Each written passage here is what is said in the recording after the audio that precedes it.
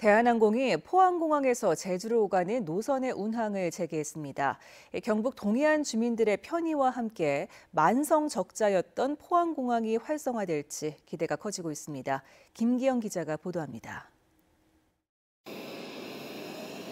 제주로 향하는 대한항공 여객기가 포항공항 활주로를 박차 오릅니다. 130석 규모의 A220 중형 기종으로 제주 출발은 오전 11시 35분, 포항 출발은 오후 1시 15분으로 하루 1회 왕복 운항합니다. 제주에서 도착하는 첫 승객이나 포항에서 제주로 향하는 여행객 모두 가까운 공항 덕에 만면 희색입니다.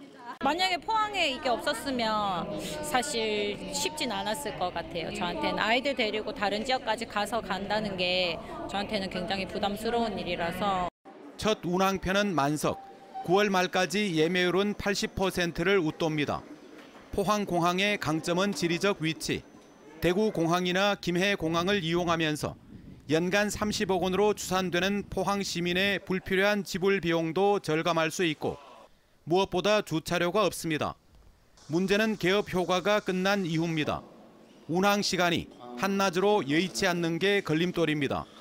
더구나 지난해 117억 원의 적자에서 보듯 포항공항은 대표적인 만성 적자 공항입니다.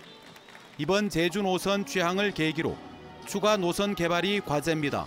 저가 항공사도 유치를 해서 어, 우리 노선을 좀 더 다양화하고 단거리 국제 노선까지도 앞으로 염두에 두고 해나가면은 포항공항이 충분히 경상북도도 대구와 김해 공항에 대항해 경쟁력을 높이는 대책을 구체화할 계획입니다.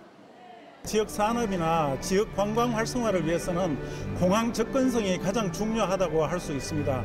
어, 저희들이 그 포항 공항 활성화를 위해서 연구 용역을 바탕으로 김포 노선도 하루 1회로 줄고 제주 노선은 아시아나 항공이 2014년 에어포항은 지난해 12월 폐쇄하는 등 악순환을 막는 세심한 전략이 필요합니다.